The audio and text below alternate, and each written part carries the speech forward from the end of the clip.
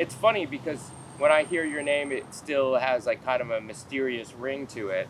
Do you get that a lot? Like, did you stay away from the skate industry purposefully?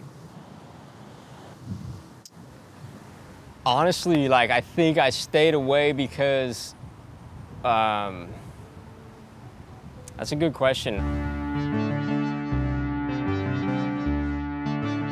Brent hit the global radar in the mid 2000s when he started skating for Element. He had a flowy, good style and instantly made an impression on an entire generation. After a couple videos, he parted ways with the brand, and while you'd hear about him from time to time, his name was always surrounded by mystery. While I was visiting Portland, I tried to track him down and see if he'd open up about his career and what he's been up to since the Element days.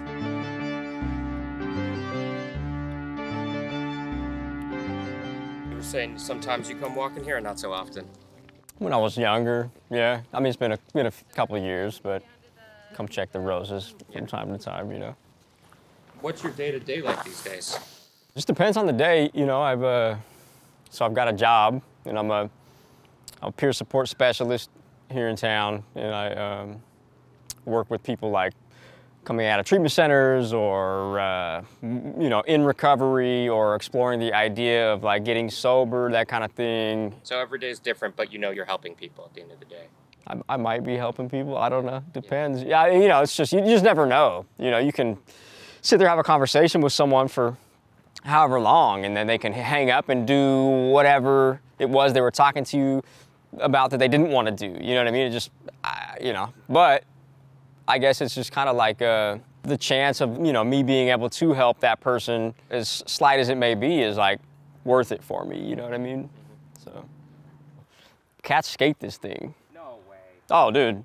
Yeah, somebody did something. I don't know, something down. I, I feeble grunt. No, I'm playing, but no. I was gonna say I didn't see that clip. Yeah, right. What's a couple names that got you stoked back in the day? I guess. the people that stood out, obviously, like Chin. You know, Mike Chin. He was like a smaller dude, so good, like such good style. Just had this like attitude. You know, like totally unapproachable.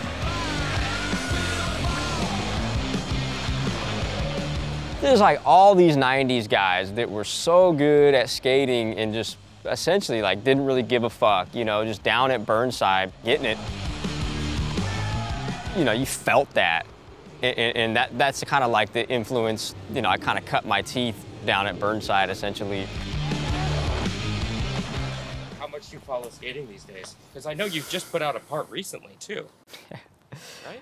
I mean, yeah, something like that. I mean, I follow skating enough. I, I don't know. I mean, just whatever I see on Instagram, I think is like my main source of, um, you know, what's going on in skating is, is whatever I see.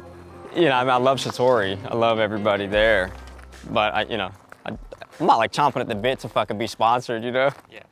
So, You feel like you did that already? um, I mean, sure. I mean, I was. Brent and I walked around the Rose Garden and we talked some more, but really what I was most curious about was what happened to him in Element. With a bit of nudging, he was down to stop and talk through it a bit off the side of the road. The ball was kind of in my court. They were like, "Hey, we want to do this thing with you," and I was like, "Hey, like you guys like what I do, right?" They're like, "Yeah, yeah, man, we love it." And I was like, "Right on, like you guys like what I produce, and you guys like all that." They're like, "Dude, fuck yeah, man, it's great." I was like, I was, like, "All right, here's like the formula," you know, and I was like, "I sometimes I don't skate for like, you know, weeks on end. I drink a lot, I'm partying, you know, just just." So so like you know this is the formula like don't let's not mess with that and you guys will keep getting that desired result you want right? I wanted to just kind of do what i did before i was sponsored. So i could keep on like producing the same thing for, for my own sake. And then of course you know element was a big company and they wanted I think I'd put out three video parts in three years, which is like a lot. You, you know what I mean? And I, I felt like it was like so demanding. And I'm like, dude, fuck. I was like, I'm depleted. You know, I was like, dude, y'all got all, you guys have all my fruit. I have nothing. There's like nothing left on the tree. So maybe that had something to do with it too, is if I could like just put some distance in between me and the machine. I didn't really feel like I had a lot of time to evolve, like, and, and, and just, just, just be. So then, you know, I quit Element, you know, one day. I still think like skateboarding career, the fact that I made money is just crazy to me. Like I love everybody at Element. I'm super grateful for the opportunity I had and like that those were like, you know, those were times. You know what I'm saying? Like they were definitely fucking times. But I really wanted to kind of like cleanse myself of the industry, I guess.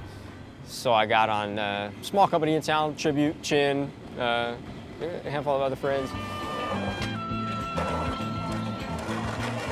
You were still partying?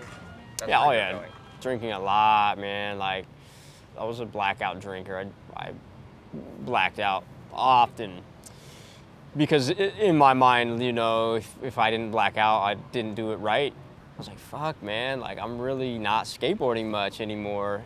And uh, ended up filing for divorce and working with a psychologist. I didn't know it at the time, but he was sober like 18 years or something. And anytime I would talk about alcohol, he would like perk up and kind of like keep me after for free. And this dude was like finishing my sentences for me. I was kind of all over the place. Didn't really realize what, you know, I didn't know I had a problem. And drinking was what I did more than anything. And like I still just couldn't see it.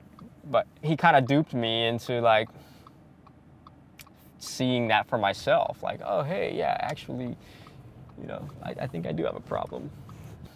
I think that he had kind of been given another lease on life, and that's kind of how I feel today.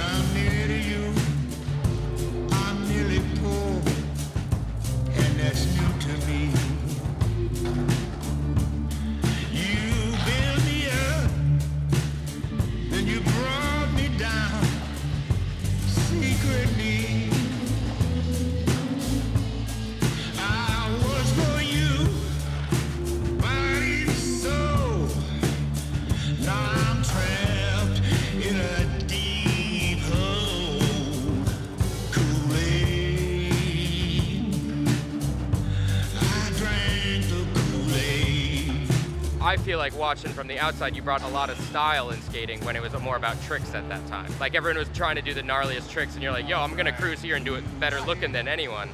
Do you feel that way or nah? Like, was that important to you? Most important? I think that that's just how I skated. So, you know, I was never really like, if you ask me, like, I'm like, I've never really, I'm not like that good at skateboarding, but I like, I think people can relate to what I do and they're like, oh, I could do that. And maybe they're like, but maybe not the way that it looks when he does it, but I could do that. I don't know. Do I want to do something that looks good and cool and I feel good, or do I want to do something that is super technical and I just land however I fucking land and I'm like, yeah, you know what I mean? Yeah.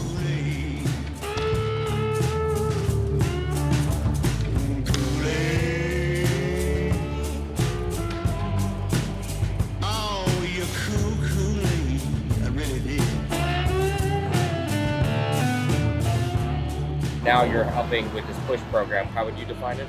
We started doing push movement. It's just like friends that are in recovery and we host skate events and we get out pizzas, a bunch of soda water, NA beverages, um, and it's you know free for the community. Anybody, you don't have to skateboard, you don't have to be sober. It's just like I tell folks, hey, like if you feel like giving your liver a break or you want to stop like putting stuff up your face or in your, in your body, like come hang with us. And I got duped into sobriety, into into bettering my life. And if I can help dupe someone else, and if I, you know, using skateboarding is gonna help, help accomplish that for that person or, or, or community or whatever, it might not. Like, I, I don't, none of us are out here thinking like we're reinventing the wheel or anything, but like a lot of us that are involved with push, push movement didn't have those examples. You know what I mean? Uh, and you know, now here we are, and, you know, kids come to these events and, and they're like, this is really cool, you know? They're like, oh, you know, we just didn't have that. So now we get to kind of like double back and, and, and, try to uh, correct uh, where we went astray